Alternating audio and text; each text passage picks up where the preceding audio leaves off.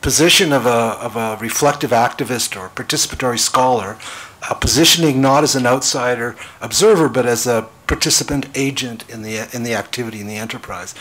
And I want to talk first about the history of community informatics. Um, what I mean by community informatics, it's the, uh, the use of information technology to enable and empower the grassroots. Excuse me. And that's a kind of general definition. I want to elaborate on that uh, as I'm talking.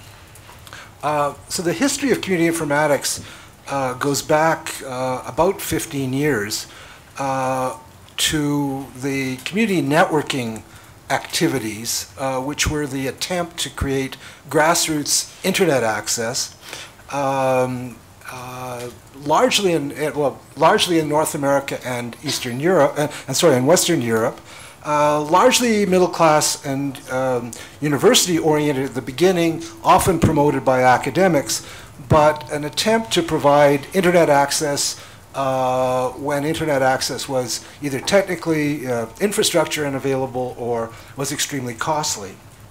Um, so the, the idea was it was starting from local community access centers in North America and in Europe, uh, and it was very utopian. The idea was that internet access was somehow a, uh, tied into a broader uh, movement towards uh, um, social change, towards social liberation. Uh, this wasn't explicit, but it was implicit in most of the, the uh, those who were engaged in that kind of an enterprise. Um, and much of the rhetoric, at least as it moved forward, and the funding came through the discussion around the digital divide. So the notion that some people would have access and others wouldn't have access really drove the, the notion of community access or public access uh, to the development of these public access centers, uh, drove them out from the ac uh, academic community into the, the larger community.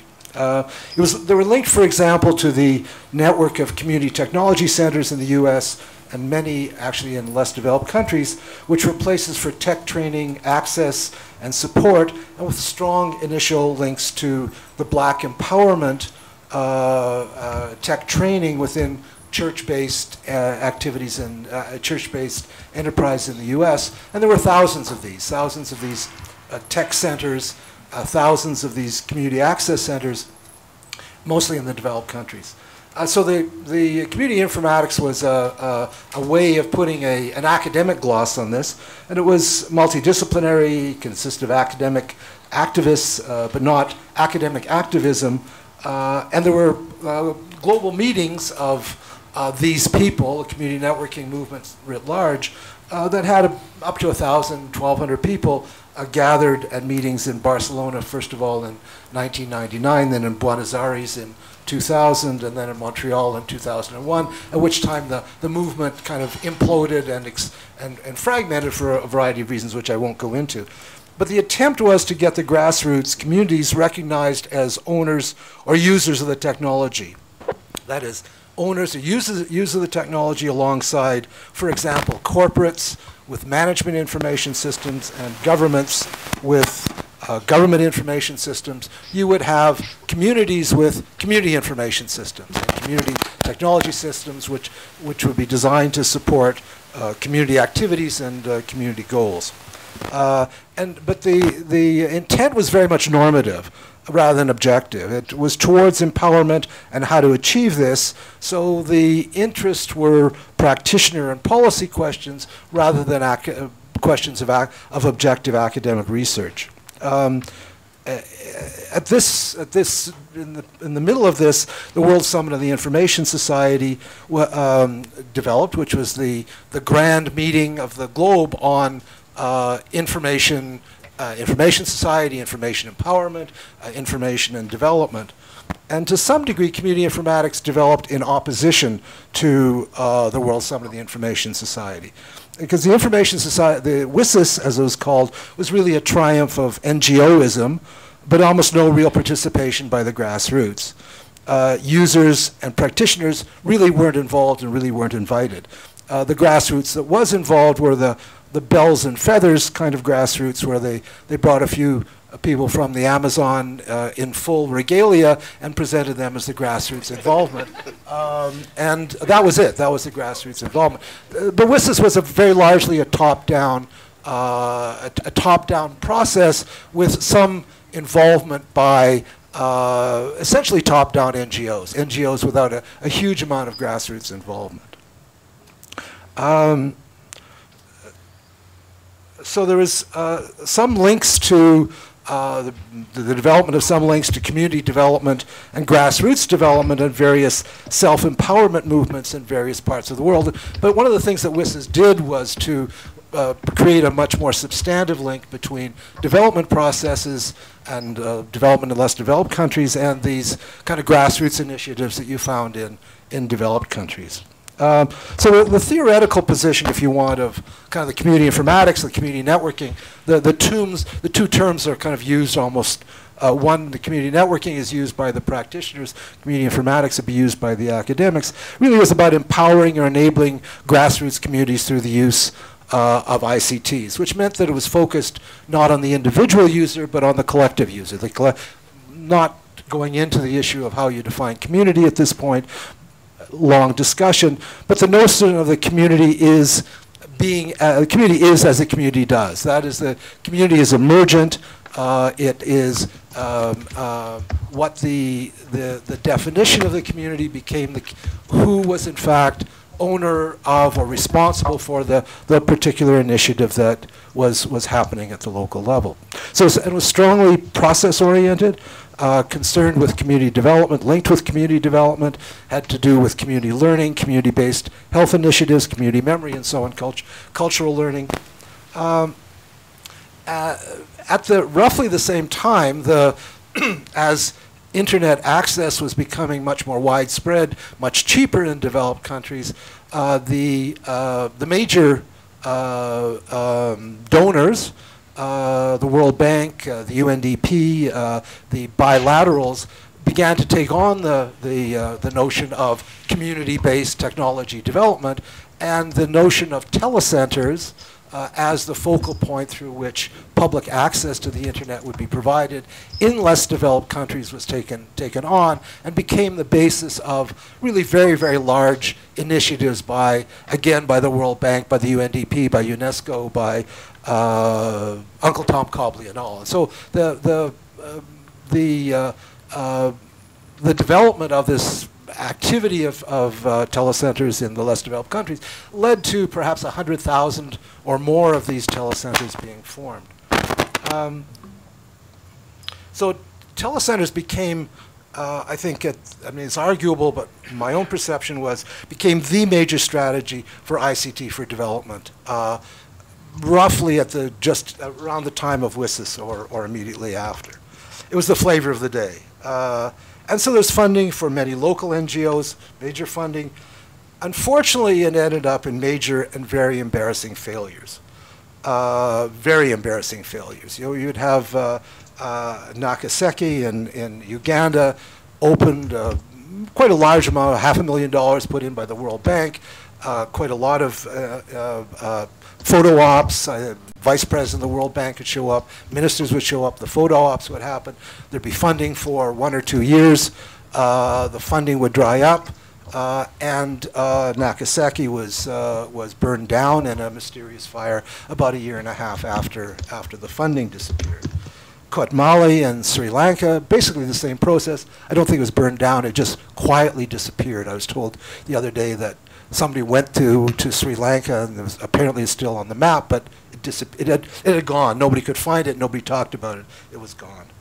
And remember, the, uh, so the, um, uh, at this time amongst the major partners in this was, oh, uh, was Microsoft. Microsoft partnered with IDRC amongst others.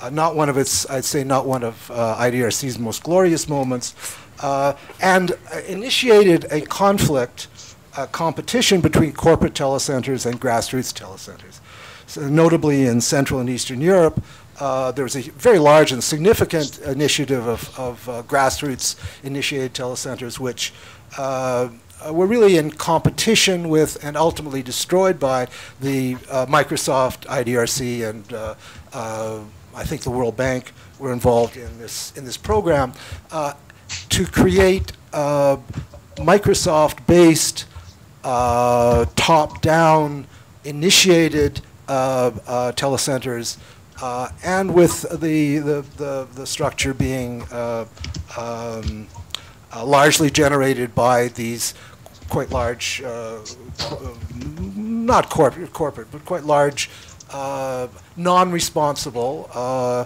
uh, non-grassroots accountable organizational systems. So the, um, uh, if you put the, the two of these together, that is the top-down system and the, the failures of much of these networks, uh, one of the lessons that came, uh, came forward was that the top-down systems just didn't work.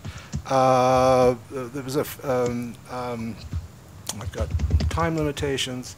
Uh, but in the meantime, we've had uh, significant changes in the technology environment uh, of for community-based or grassroots-based uh, technology. We've had broadbands, we've had mobiles, we've had the ubiquity of, of, of, uh, of technology and cultural changes, social media and social networking, and the shifting of the political culture from the center of gravity to, significantly to the right. Um, but I think the initial intent of promoting grassroots initiatives through uh, technology uh, were, I think, uh, by and large, I think are generally seen as, as failures uh, uh, because the there's a notion that the naive, naive that the technology could be used locally without mediation, that there was no need for mediating, interpreting, translating the technology into something that will work at the grassroots. There was a na the naive that the driver of the technology could be a secular driver. There was no need for an, an outside driver that somehow the technology would, would be sufficient. And naive, naive about the power of inertia, that is that the inertia at the grassroots uh, would be overcome by the technology and somehow the possibility of the ownership of the technology at the grassroots uh, would happen without any external kind of initiative happening. And there's naive about theories of, of social change at the grassroots. Um, I just want to make a couple of examples, uh, just to point to a couple of, of successful examples because I think they, they give a, uh, an interesting kind of set of potentials. The, the most successful, successful uh, I would say, grassroots uh, based uh, community informatics impl implementations were amongst indigenous peoples. Uh, Bario and Sarawak, uh, and the Cree in northwestern Ontario, uh, even a completely buried tribe of indigenous people living on a land reserve in the middle of urban Sao Paulo that I, I ran across at one point. Um, they were able to achieve true empowerment and transformation through the use of technology. In Ontario, the uh, Indigenous group created their own high school, uh, created a, uh, a functioning uh, Indigenous controlled e-health program, developed the use of information technology to support e-governance programs, used the uh, technology as a means to enable their the local the preservation of the local culture, uh, and ultimately created and owned their own mobile uh, mobile mobile system of mobiles for because the uh, uh, corporates wouldn't uh, wouldn't provide the system. In Bario, uh, e economic transformation through ecotourism was achieved, and the basis and the technology provided the basis for cultural survival through an online journal and links linking to the diaspora and the, the language survival. The reasons why, to my mind, the indigenous were successful was because of the strong links to the land. Uh, in many cases, the use of ICTs in rural areas is a means to facilitate migration. Uh, for indigenous peoples, ICTs are a means to, for, IC, for indigenous people, ICTs are a means to stay where they are and have some degree of equitable access to services. So just a few, just to conclude, a few observations. Uh, the community informatics fundamentally and, gen and genetically is about inclusion. But from experience, it's clear that digital inclusion, at least, cannot be mandated from above. It can only be achieved through a process of self-empowerment from below. Uh, attempts to link even ICT-enabled grassroots communities into larger networks are difficult and time-consuming and even more difficult to sustain since the benefits to the local community are unclear. The grassroots benefited, however, significantly from the networking of their intermediary organization or leadership cadres. And those intermediary organizations, which, which were the most networked, were often the most successful in that they had access to information, resources, including financial, that those which were less networked had much less access to. So the the lesson being that the, the grassroots organizations that were successful, in fact, had intermediaries between themselves and the larger society that that did the networking. It wasn't the grassroots organization themselves. um, and ICTs through the intermediaries did function to more effectively link communities into larger society, but not necessarily network them into larger society. Networking was done by intermediaries. Linkages uh, were functional for e-commerce, narrowly focused service information delivery, and political representation and power. These communities weren't included through ICTs in the larger society, but they were more effectively linked. That is, they were linked to the larger society, but they weren't networked into the larger society. However, their networking, their networking horizontally to other of their cultural, linguistic, geographical brothers uh, acted to strengthen them politically and to provide practical support to their various online initiatives through increase, through increase in numbers. Um, so just in, to conclude, uh, where to from here? The, the utopian vision of the use of ICTs, that is information and technology as instruments of self-empowerment and ultimately liberation, is to my mind still valid mobiles as an instrument of indivi individuation, of networked individualism, of technology-induced alienation still proceeds apace. There appears to be a universal urge towards community, towards the, the trust of intimate relations, towards the possibility of shared culture, norms, rituals, towards the achievement of collaboratively determined goals and realization of collectively agreed upon norms. This is manifested but truncated and subverted through social media. If, and it is a big if, we are, we are to, uh, to, as a species, survive the onrushing totalitarianism of the surveillance I prefer to call it the digital control state, then it will not be through networking individuals, but through digitally enabling communities, built on the basis of trust and interpersonal sharing of norms, values, and goals, very likely acting through some sort of intermediary structures on the basis of which resistance and ultimately the retaking of the means of digital empowerment and ultimately digital liberation will be achieved.